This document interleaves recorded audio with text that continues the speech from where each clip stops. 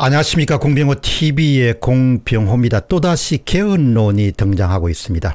이번 개헌론은 부정직한 방법으로 입법 권력을 장악한 집권 여당이 개헌에 근접한 의석수를 확보하고 있기 때문에 실행 가능성이 높습니다. 7월 17일 날 박병석 국회의장이 개헌론을 과감하게 들고 나왔습니다. 그의 말은 이렇습니다. 한 세대가 지난 현행 헌법으로는 오늘의 시대 정신을 온전히 답아내기 어렵다는 공감대가 있습니다. 이렇게 개헌의 필요성을 주장하지만 저는 그의 말을 믿기도 힘들고 납득하기도 힘듭니다. 박병석 국회의장은 내년까지가 개헌의 적기라고 강조합니다. 그의 말은 이렇습니다. 앞으로 있을 정치 일정을 고려하면 내년까지가 개헌을 추구할 수 있는 적기입니다. 코로나19 우한 폐렴 위기를 한 곱이 넘기는 대로 개헌 논의를 본격화해야 될 것입니다. 권력 구조 문제는 20대 국회에서 이미 충분히 논의했습니다. 선택과 결단만 우리 앞에 남아 있습니다. 박병석 국회의장의 개헌 당위론을 살펴봤습니다. 첫 번째 질문은 집권 여단의 개헌 움직임입니다. 박병석 국회의장의 주장은 새로운 것은 아닙니다. 부정한 방법으로 집권 여당의 사이로 총선 압승이 이루어진 이후에 개헌론은 마치 우후죽순처럼 터져 나오다가 잠시 수면 아래로 숨 고르기에 들어가 있는 실정입니다. 4월 27일 날 정세균 당시 국무총리는 개헌은 앞으로 1년이 골든타임이다 이렇게 주장했습니다. 4월 27일 날또 송영길 민주당 의원은 대통령 단임제를 중임제로 바꾸고 책임 총리제를 도입해야 된다. 이런 것이 다 제가 볼 때는 연막인 것 같아요. 겉으로 내세우는 것은. 4월 29일 날 이용선 당선자 당시의 서울 양천을입니다. 토지 공개념을 포함한 개헌을 해야 된다. 이게 속내를 드러낸 거죠. 집권 여당에서는 대선과 지방선거가 같은 해 2022년에 치러지는 이번이 개헌의 적기라고 파악하고 있다고 봅니다. 선거가 없는 2년이기 때문입니다.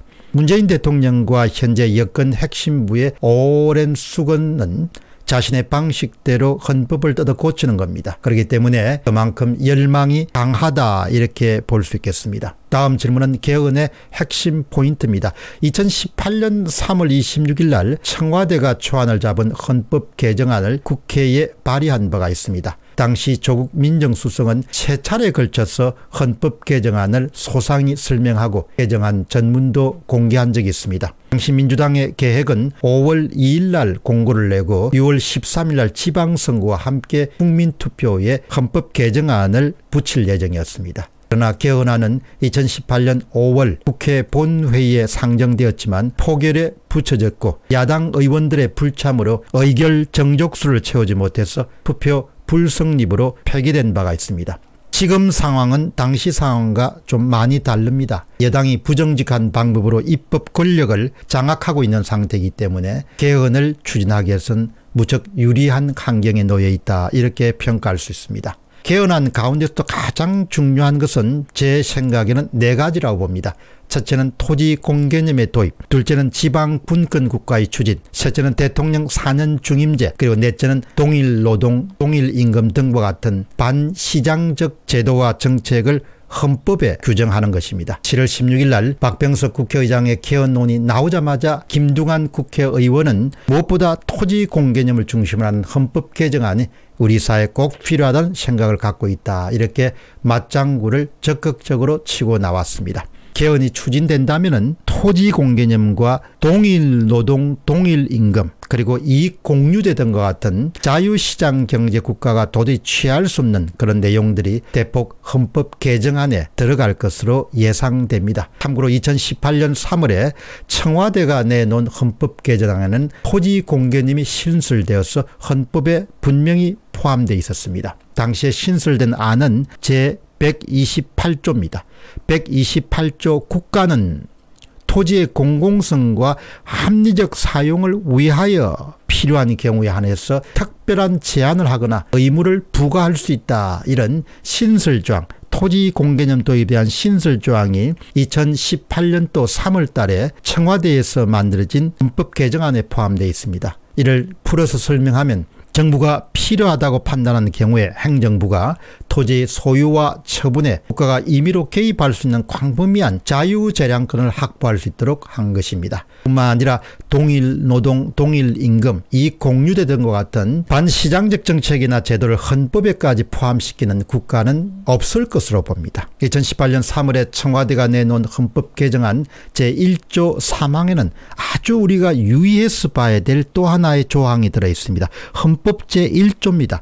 나라의 기본과 근간을 결정한 헌법 제1조에는 제3항에 새로운 안이 신설되었습니다. 대한민국은 지방분권 국가를 지향한다. 다소 의회의 조항이 포함되어 있습니다. 기존 헌법에는 두 개의 조항이 있었습니다. 제1조에 대한민국은 민주공화국이다. 2항에는 대한민국의 주권은 국민에게 있고 모든 권력은 국민으로 나온다. 이것이 전부였습니다. 근데 그게 3항이 설정되어 들어갑니다. 지방 분권 국가를 지향한다. 여기에 설정 제1조 3항 헌법의 가장 중요한 근간이 되는 제1조 대한민국은 민주공화국이다. 제1조 2항 대한민국의 주권은 국민에게 있다. 주권 재민 그것이 전부였는데 3항이 들어갑니다. 집안 북국가의 추진 왜 이와 같은 그런 헌법의 가장 중요한 제1조의 지방 분권 국가를 지향한다는 그런 내용이 끼어들었을까 이런 부분에 주목하는 사람들은 당시에 별로 없었습니다. 많은 사람들은 토지 공개념에만 집중했지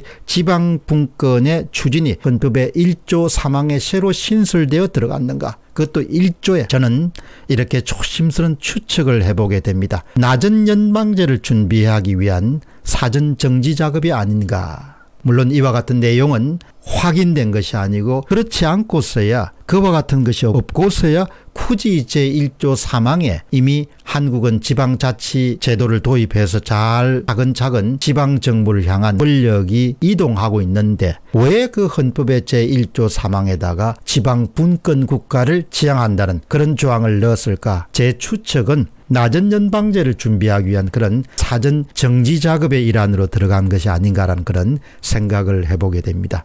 굳이 지방 분권 국가라는 것을 헌법 제1조 3항에 새로 만들어서 포함해야 될 달리 다른 이유가 머릿속에 떠오르지 않습니다. 이 문제는 앞으로도 헌법 관련된 전문가들이 좀 더 집중적으로 파헤치고 또 국민들이 알고 그것을 통과 여부를 결정해야 될 것으로 봅니다. 광고 하나 드리겠습니다. 영어 방송을 시작했습니다. GONG 공TV입니다. 방문해 주시면 고맙겠습니다. 공병호 TV의 공병호였습니다. 감사합니다. 열심히 사시는 분들과 특별히 건강에 깊은 관심을 가진 분들을 위해서 건강식품 구전녹용을 소개해 드립니다. 구전녹용은 기후 특성상 생산된 녹용의 질이 매우 뛰어나고 뉴질랜드산에 비해서 약 1.7배가량 비싼 러시아산 녹용을 사용하고 있습니다. 허약한 몸을 보강하고 씩씩함을 계속해서 유지하는 데 도움을 주는 구전 녹용을 구매하시기를 원하시면 설명결에 링크를 누르시면 바로 매장으로 연결됩니다. 여러분의 깊은 관심을 부탁드립니다. 감사합니다.